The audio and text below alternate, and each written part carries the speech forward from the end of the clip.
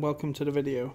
Today we're looking at following terrain using a LiDAR, specifically very low, sort of 1 to 3 meters from the ground.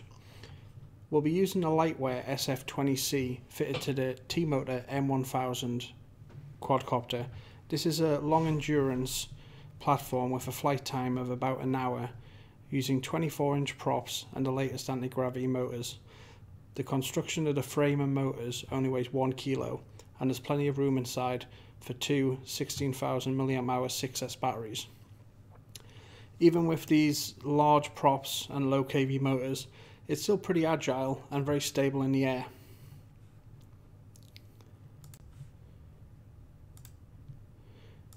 To test how this setup performs, a waypoint mission has been loaded into the drone with a 2 meter height, 1 meter height and 3 meter height.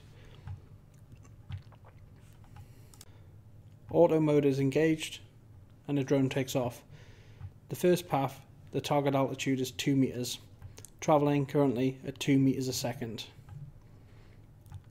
The drone holds the height extremely well, with variations of plus or minus 10 centimeters to the 2 meter target altitude. At 2 meters, we found that a speed of between 2 and 5 meters a second was comfortably achievable.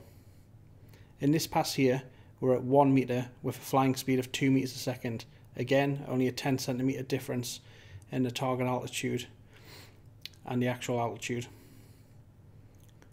And finally, we did a fast pass at a 3 meter target altitude at 5 meters a second. Easily achievable and showing between uh, 10 and 20 centimeter fluctuations across the line. Finally, the drone comes in for an autonomous landing.